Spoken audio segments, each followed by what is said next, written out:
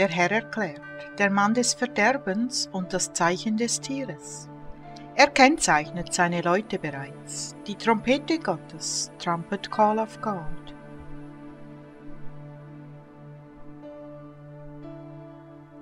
September 2004 von dem Herrn unserem Gott und Erlöser. Das Wort des Herrn gesprochen zu Timothy und für all jene, die Ohren haben und hören.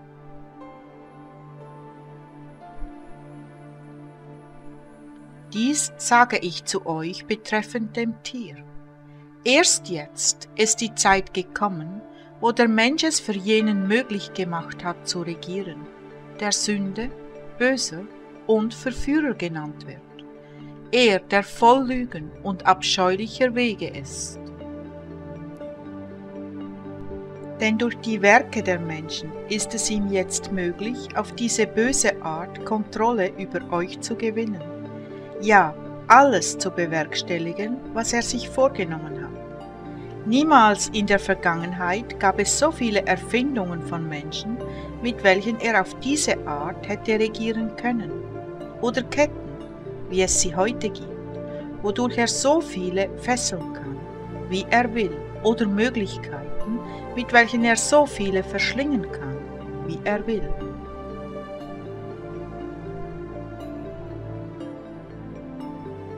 Seht, jetzt ist die Zeit für ihn gekommen, wo er seine Netze über die ganze Welt auswerfen kann. Und wer kann ihm entkommen? Denn sein Auge wird überall sein, seine Befehle aus einer Laune heraus ausgeführt. Jetzt ist die Zeit da, in welcher er die Werke der Menschen nutzen kann für seine bösen Absichten. Ja, aus den Himmeln kann er seine böse Herde beobachten, und aus den Himmeln kann er all jene zerstören, die sich ihm entgegenstellen. Mit Feuer, Schwefel und glühender Hitze. Auch jetzt beobachtet er und liegt in Lauerstellung, bis seine festgelegte Zeit gekommen ist. Genauso wie der Löwe im hohen Gras auf den richtigen Moment wartet, auf die günstige Gelegenheit zu springen und seine Beute zu verschlingen. Er hat schon begonnen, seine Leute zu kennzeichnen, und eifrig gehen sie, in den Tod gehen sie.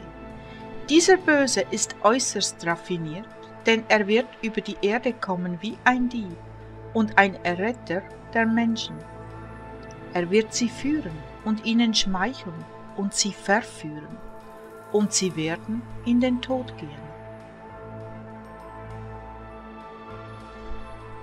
Und alle, die ihm folgen und sein Zeichen annehmen, werden ihn anbeten und sagen, wer ist wie dieser Mann?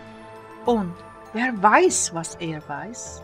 Und wer kann sich ihm entgegenstellen? Wer? Er ist derjenige, auf den alle gewartet haben. Er wird den Nationen Frieden und Wohlstand bringen.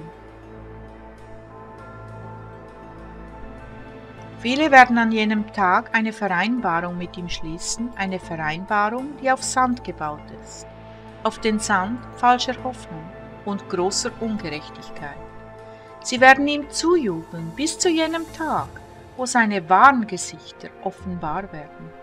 Doch wenige werden es realisieren und sie werden kaum den Kopf drehen denn sie sind alles adoptierte Kinder des Verderbens geworden. An jenem Tag werden sie so tief im Schlamm ihrer Sünden und Ehebrüche stecken, mit ihren verhärteten Herzen, und auch ihre Augen werden sich an die Dunkelheit und ihre Ohren an das Böse gewöhnt haben, dass sie nicht in der Lage sein werden, vor dem zu fliehen, was dabei ist, sie zu überwältigen.